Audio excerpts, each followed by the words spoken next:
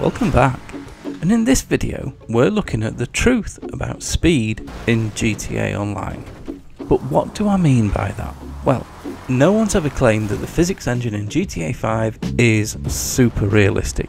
I mean, let's be honest, this physics engine was designed by someone who thought Einstein was the guy who scored the equaliser in the 1966 World Cup final.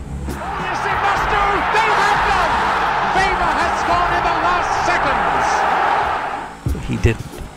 So let's take it as read that the physics in this game only makes sense if you think the Earth is flat. You know, controlling cars in midair, flipping them back over when they fall over, all that kind of stuff. So this isn't a video about why the physics isn't real. It's a video about why the cars are so slow. Now you must know you've seen the cars. The top speeds of the cars in this game are atrocious compared to their real life counterparts. So what I wanted to do is make a video to find out why that's the case. And if you watch to the end, you'll see there's a perfectly good reason why Rockstar designed this in the way that they did. And it becomes perfectly obvious as soon as you look at it. To test this, I needed two cars. I needed two fast cars, cars there was a lot of data about, so I started with the one you can see on screen now, which is the Adder, which in real life would be the 250 odd mile an hour Bugatti Veyron. So in order to make this work, I took the Adder and recorded a lap, but I quickly realised I needed some measurements to work this out. I needed to work out the acceleration between different speeds, I needed to work out the braking, the cornering speed, all that kind of stuff. And the only way I can do that, I had to use the Rockstar editor. And anyone that's used the Rockstar editor will know why I'm sighing. So I had to do an interior shot so I could get the speedo, but then take the same footage and edit that as an exterior shot so I could match it up to the footage recorded from the game because as I later found out the Rockstar editor exports at a different frame rate which is really helpful. Thanks Rockstar.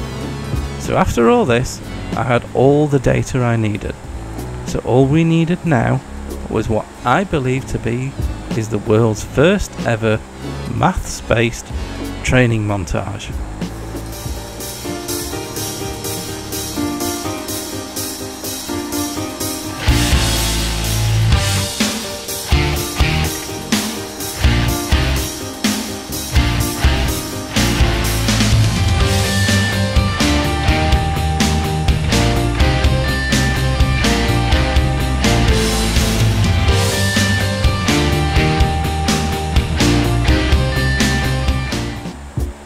What this all told me is there is a very unusual discrepancy in the way cars behave in GTA Online.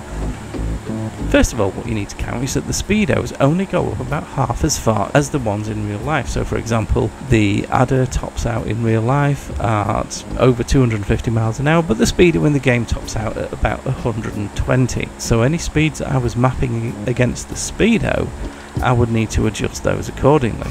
So then you look at the different performance through the speed range, and up to 60 miles an hour, the performance in the game is nearly twice as fast as it is in real life. Up to 100, it's two and a half times as fast. Up to 130, it's 2.8 times as fast.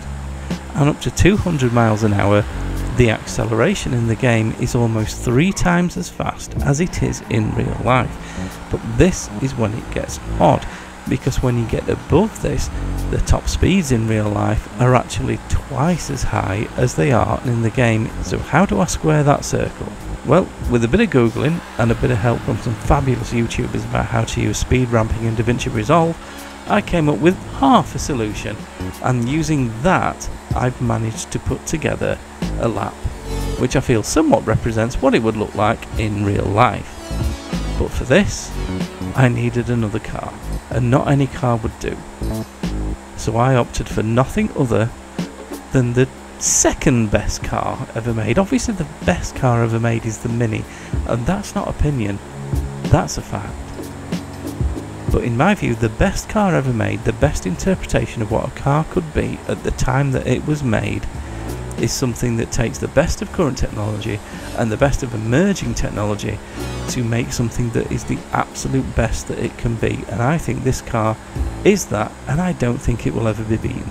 So, yes, that car is the McLaren F1, or as you will know it in the game, the ProGen GP1. So here we go with my speed adjusted lap in the McLaren F1. And I'll be honest, it gets weird really quickly. So let's just let it count down and off we go. And as we accelerate here, we're going really slowly, but we're already at 60.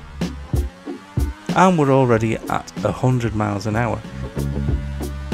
And in just a couple of seconds, we're going to be at 150. There we go.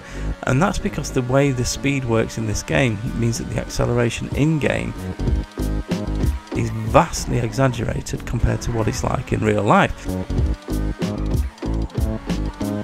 So, for this lap, what I've done is I've had to slow down all the acceleration zones and speed up all of the top speed zones, but then use a speed ramp to make it smooth between the two.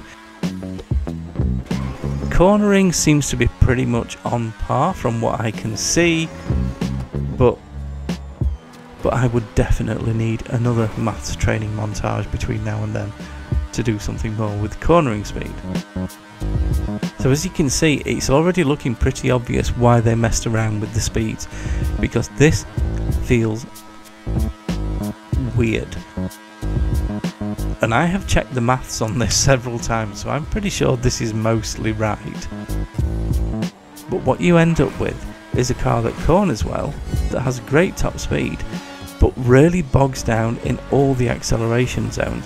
Now, when you think about how you play GTA, a lot of the time you're in the city, you're doing missions, and you really don't want a car that feels too realistic in the city. And even that play GTA 4 mm, will know that GTA 4 had a much more realistic physics engine. And whilst in some ways that was really nice because it made it quite fun, they kind of got away with it because it was a much smaller map.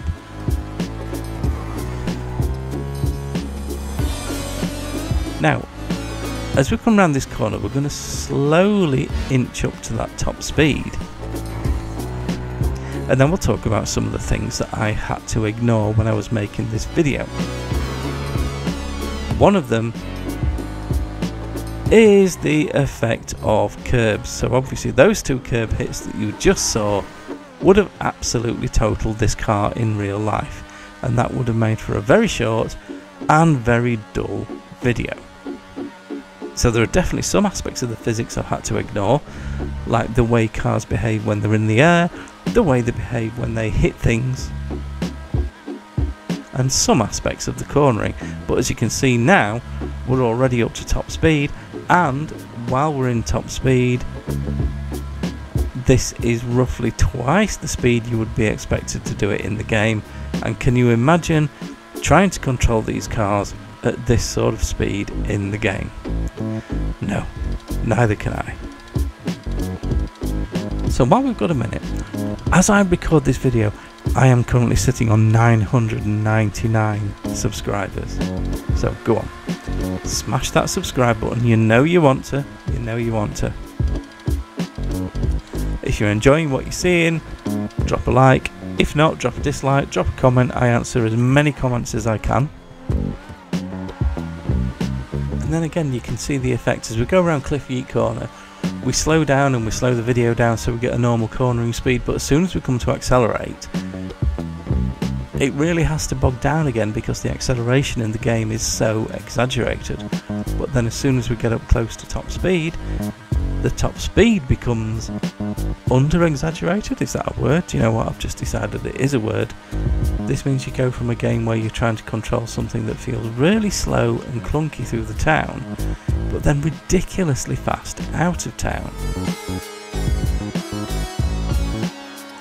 And I honestly think this answers the question as to why they messed around with the physics so much in GTA 5. Because of the way they put the map together, what they were essentially trying to do is take a map of Los Angeles, cram it together into a much smaller area, make it enjoyable, make it fun, but also considering how long ago this game launched, it was 2013 that this game launched, they really had to consider things like draw distance and load time.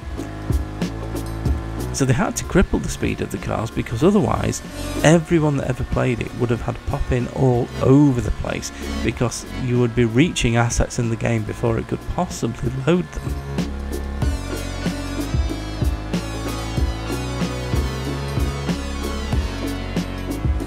Other dedicated racing games don't have the same problem because they have a dedicated map, it's relatively small, and it only has a detail either side of the map. This thing has detail anywhere. Now, yes, I'm doing a lap here, but there's nothing within the game that stops me just veering off left and going through the wind farm and just going to do something else in the middle of nowhere. And if I decide to do that, then the game needs to make sure that all the assets that are over on the left that I can't see are all loaded in.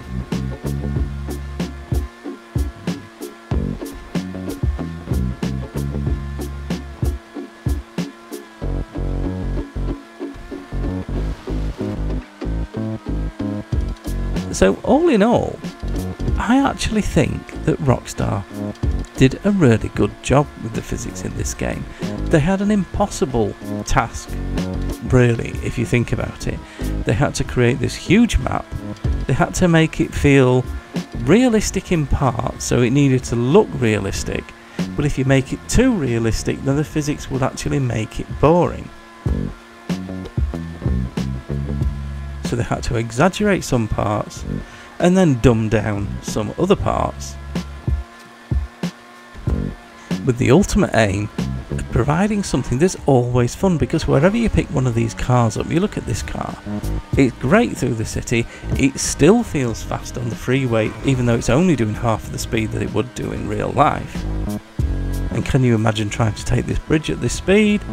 No, don't fancy it. So anyway, as we come round here, you'll see that the adjusted lap for the McLaren F1 was 7 minutes 14 seconds. Now that compares to 9 minutes 35 for a standard lap in this car. So it's two and a half minutes faster around this track. So I hope you found that useful, and I will see you in the next one.